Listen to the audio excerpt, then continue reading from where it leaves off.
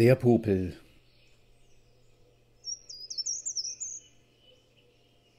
Ein Popel hat sich einst verirrt in einem Wald von Nasenhaaren. Er war darum schon ganz verwirrt. Da kam ein Finger angefahren. Der Popel rief: Hurra, mein Held! Hol mich raus aus diesem Wald! Nimm mich mit in deine Welt! Hopp, hab mich schon festgekrallt.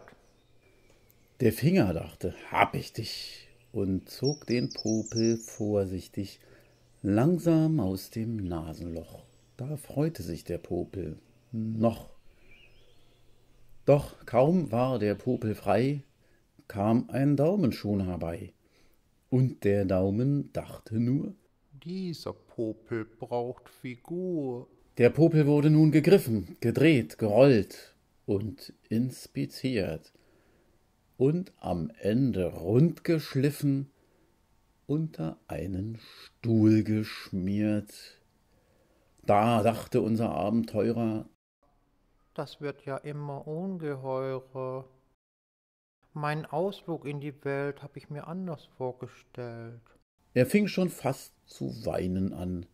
Da sagte einer Hallo, Mann. Und als der Popel um sich sah, waren alle seine Freunde da.